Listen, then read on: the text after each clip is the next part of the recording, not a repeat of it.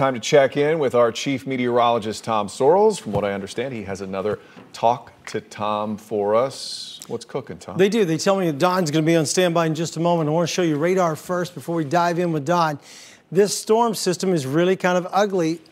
It is weakening, just not weakening fast enough for our taste. You do see the way it's pinwheeling around. Someone wrote in and asked, why in the world are they still saying it's going to come to the north? it, it is, pal. It's going to come right up through here, right through this zone. And so you can tell on the radar and everything that's going towards Sebring, sort of, yeah, it's jogging over that way, but honestly, if you're looking at this the way it's jogging up to the north here, it's going to come into Osceola County over the course of the next several, several hours and then roll its way this way up and out. We really believe we'll get a brand new path at 11. That's when the Hurricane Center will make any corrections they're going to make. But please believe all the modeling was going in that same general direction. So it's raining hard. Here's the wind intensity and timeline from Fort Myers to Orlando and then out through Volusia County by tomorrow into tomorrow evening. So we've got a long, long run to get this over with.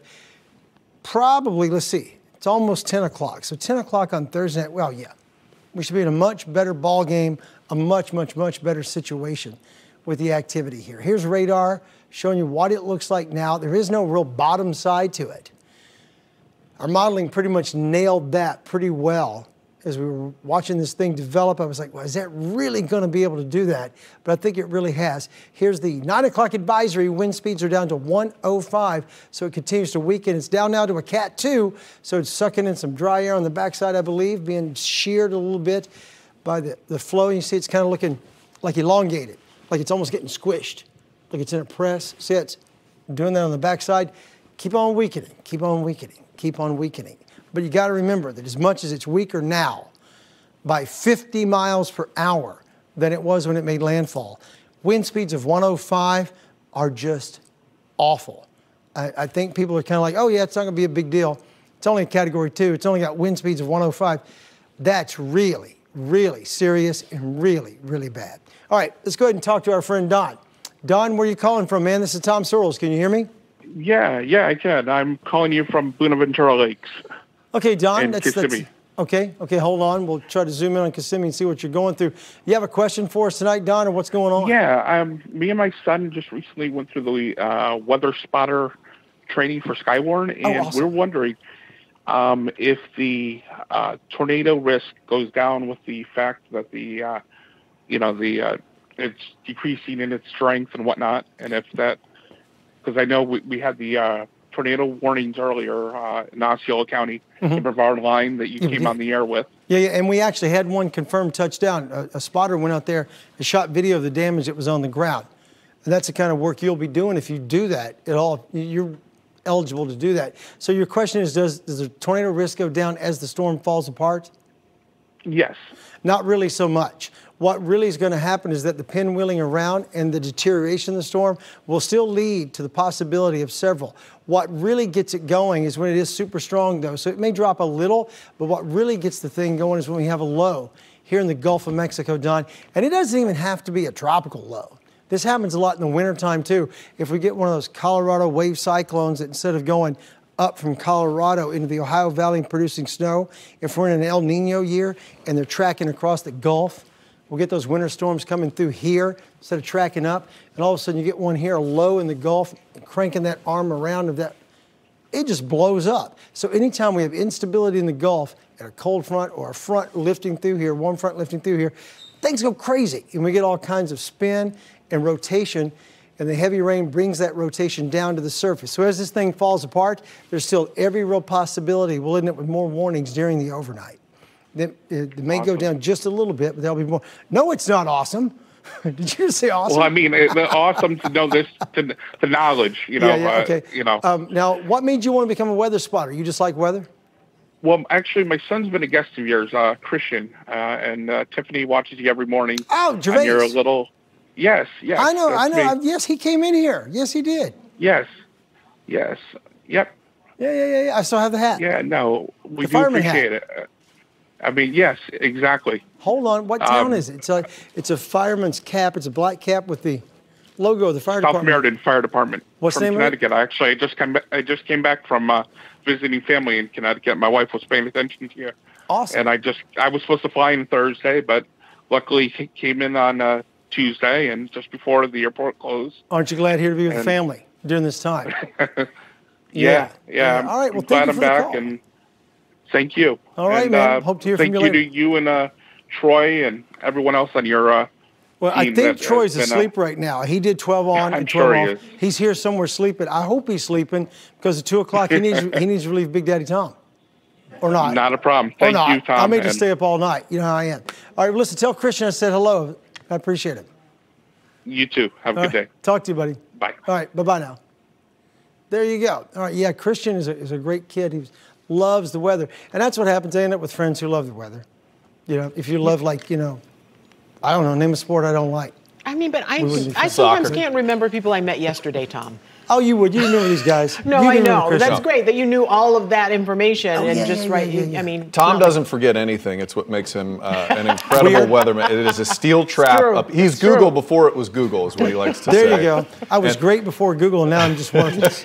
but now you get to flex those muscles on Talk to Tom, and, and people, lots of people thanking Tom uh, for all the hours he's putting in. I know my wife just texted me, Tom is really, really good. And Aw. then she threatened to have my mother-in-law call in Talk to Tom. Oh next my hour. Goodness. I, Uh, well, you know, it's very tempting. We only have 10 hours left of coverage here, guys. It's- I think you can take some calls. I would love that. Wait, they're telling me there's someone else Yeah, on, on the phone one. line. Who is it?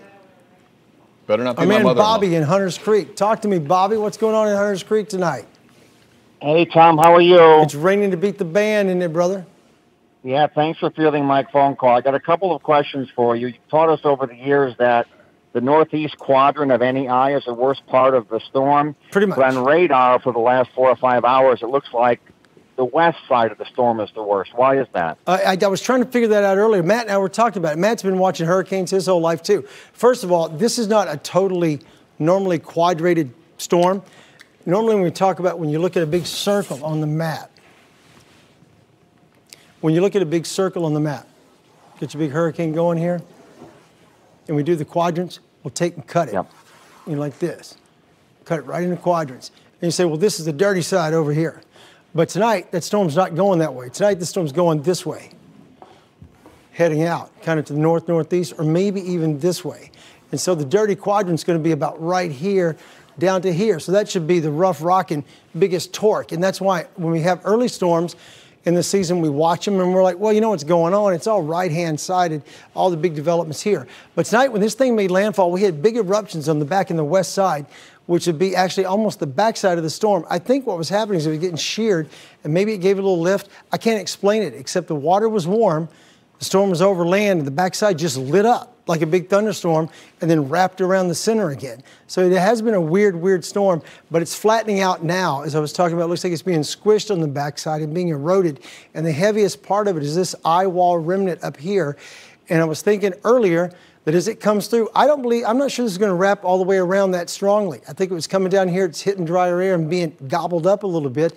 I think eventually this will detach from the center and go and be a big rain producer across the northern part. So, as far as why it erupted on the backside, I really can't explain it, but we all saw it happen. Yeah, I, I, I was hoping the eye was going to go south of uh, Hunters Creek. It looks like it's going to. I thought, okay. Well, it may. I mean, north of Hunters Creek, I should say. I, Yeah, I it- should say right. Yeah. It's going to get right in there, very close to you. Let's put, cruise up here and get past the Kissimmee area, right up into the southern part of the viewing area. There's Windermere, Dr. Phillips. Where are, you're not popping up for whatever reason. Where are you? Right. One more quick question. Yeah, man, Uh, the last path you showed, it went an inch north, then it started going northeast. Well, what are the steering currents right now? What makes you think it's going to go north for an inch and then start going northeast? What, what, what dictates that? What's, what it's got going on is that there's a front laying across the zone, and the front's basically stationary, and it kind of has drifted. Pick up my marker again. To show you what's going on. The front's like right through here, and kind of lingers, and so it's kind of caught up to the thing and pushing it this way. So the front goes way up, and this thing's going to come up and be picked up and go around. And the upper level steering currents, the ridge of high pressure off the east coast, and the low up north, it'll sense that gap between them and shoot back into Charleston or Savannah or somewhere in that zone. It will not be the monster storm for them that it's been for us, but it will get into that zone. The folks in Charleston are on standby for Friday already. I've talked to them online, they know. You know, it's not like they don't see it coming four or five days out. They see that all the modeling's pointing that way. So it's going to be the upper airflow right. that will push it back into the southeast once it gets off the coast. Great. Outstanding, Tom. Thanks for feeling my call. Hey, thank you for calling in. I appreciate it more than you'll ever know. All right. Bye bye. Okay. Do we have anybody else or are we done? All right. We're going to be done for a moment. One more time. Let me get rid of this stuff and clean it all up and oh, take it off the board here and show you exactly what's been happening. Downtown Orlando getting soaked. All the rain keeps coming in. Copious amounts of rainfall have already occurred in Central Florida. That's going to continue through the night tonight. We're waiting on the wind to really pick it up. I was just talking to meteorologist Candace Campos, and she said, you know what's happening? People are starting to write in. They're starting to get their power blown out. It's starting to really become an issue, like we knew that it would.